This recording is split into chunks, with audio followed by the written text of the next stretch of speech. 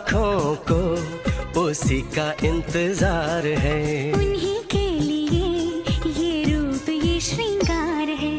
देखी है तस्वीर ही